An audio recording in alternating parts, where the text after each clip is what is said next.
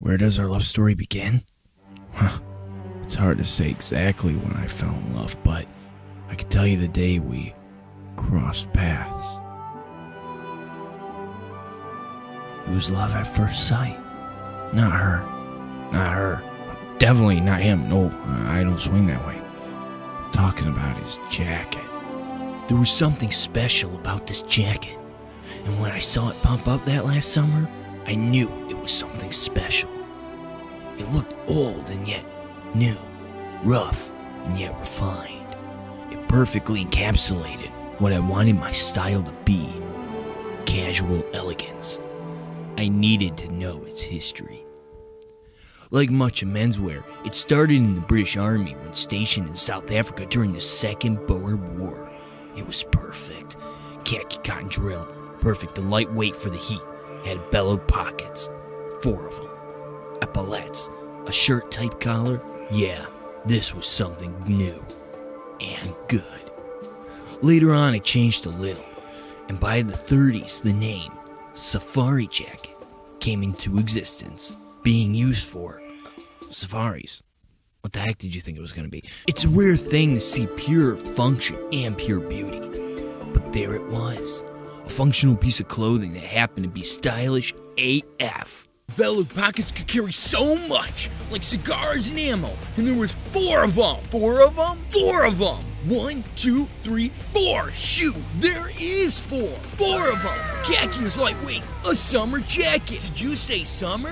I sure did. The color blended with the environment. Earth tone. Earth tone, you say? Earth tones, my lad. And a bell to put everything together. A piece of clothing. Worn when killing. In style. The public knew about it with Ernest Hemingway, if only a little. Hollywood loved it. Clark Gable, Roger Moore, Gregory Peck, Douglas Fairbanks Jr. People started to notice. And then Yves Saint Laurent dropped it in his African themed collection in 1968. Welcome to society, Monsieur Safari Jacket.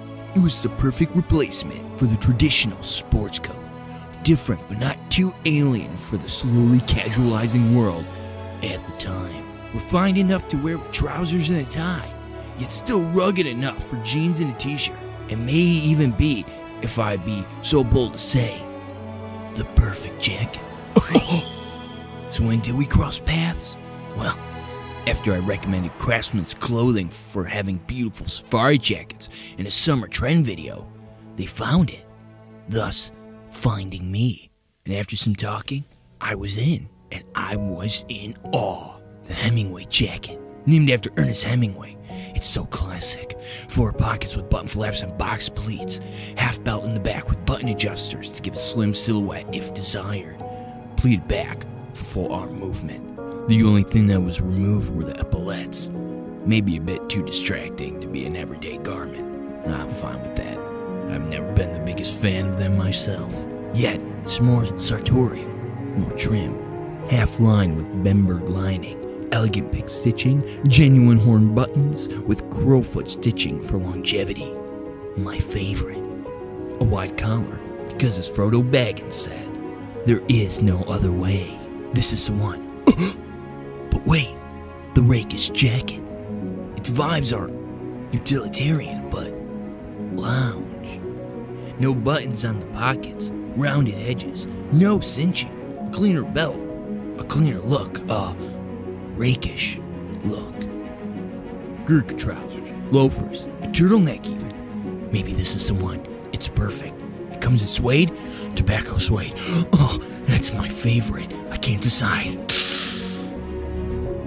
I need time. Time to decide, and time to save up. It's a long journey, but it's worth it. Because we will be united. Someday.